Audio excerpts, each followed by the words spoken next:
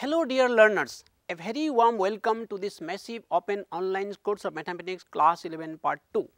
Mathematics is all around us though we may not realize it.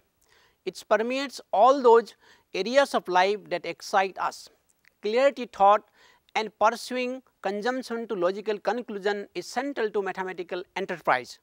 There are many ways of thinking and the kind of thinking one learns in mathematics is an ability to handle abstractions. What mathematics offers is a way of doing things to handle and be able to solve mathematical problems and to have the right attitude for a problem in a systematic manner. To make the understanding of mathematics easier, this course has been introduced where you will get more familiar in dealing with numbers, graphs and mathematical operations. There are 9 units in this program First is binomial theorem. In this you learn about binomial theorem, Pascal triangle, general and middle terms of binomial expansion. Second is sequence and series. The chapter will deal with the study of sequence which follow a specific pattern called progressions like arithmetic progression, arithmetic mean, geometric mean and the relationship between them. It will help us to predict evaluate and monitor the outcome of the situation or event and help us out a lot in decision making in finance, medical field etc.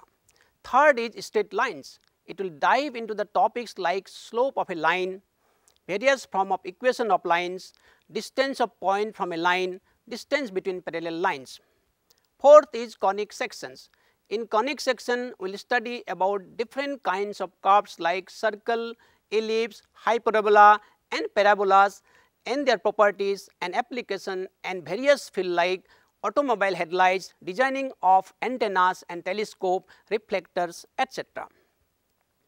Fifth is introduction to three dimensional geometry. This chapter will deal with 3D geometry. Here we make use of vector algebra to 3D geometry.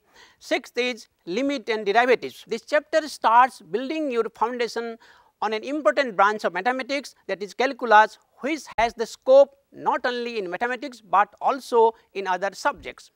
Seventh is mathematical reasoning. In this you will learn about statement, negation of statement, compound statement, quantifiers, implications, validating statement and many more such concepts. 8 is statistics. This chapter elaborates on basics of statistics and talked about topics like measure of dispersion, range, mean, deviation, standard deviation, etc. These concepts are used to design clinical trials, interpret research studies in business, in economy, etc. Ninth is probability. Here you will study about axiomatic approach of probability. The subject experts will interact with you during the journey through this course. Each module of the course will have feature like text, videos, web links to know more about concept and other resources. To check your progress, self-assessment questions has also been given. Hope you will enjoy the course. My best wishes to all of you. Thank you.